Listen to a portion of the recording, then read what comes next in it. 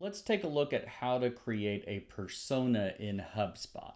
If you're in sales, you may be familiar with the concept of an ideal prospect, or if you're in marketing, a target audience. Well, a persona is a specific example of that target audience. So, for example, if your target audience is made up uh, partially of CEOs of companies, your persona could be Joe CEO or you may even give them a real name. And then you assign different contacts, different leads in HubSpot to a specific persona. And then in your marketing, you can actually send email blasts and communicate directly with people that are a match for a specific persona. So you can customize their marketing and your automated sequences to that persona. So let's take a look at how to do that. We're going to go up to the gear here on the top right.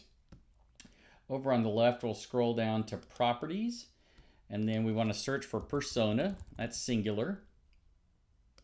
We'll click on edit, add another persona.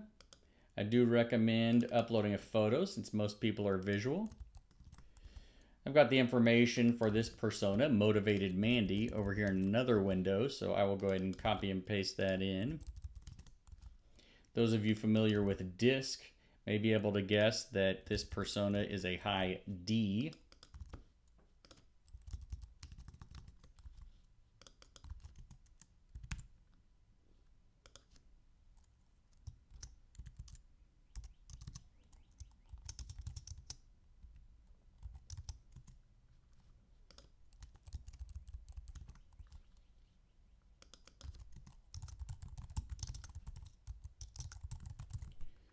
Okay, so we've got our persona created. We can click on save. Then we'll go over here into contacts and I will uh, click on this sample contact. And of course, they've got disc style because that's a custom attribute I created. I'm going to click on view all properties. And then that'll pop up their persona.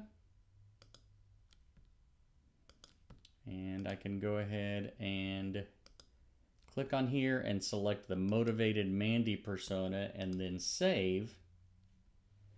And now if I were to have a list of people that are marketing contacts that use the motivated Mandy persona, I could target that list uh, with various marketing.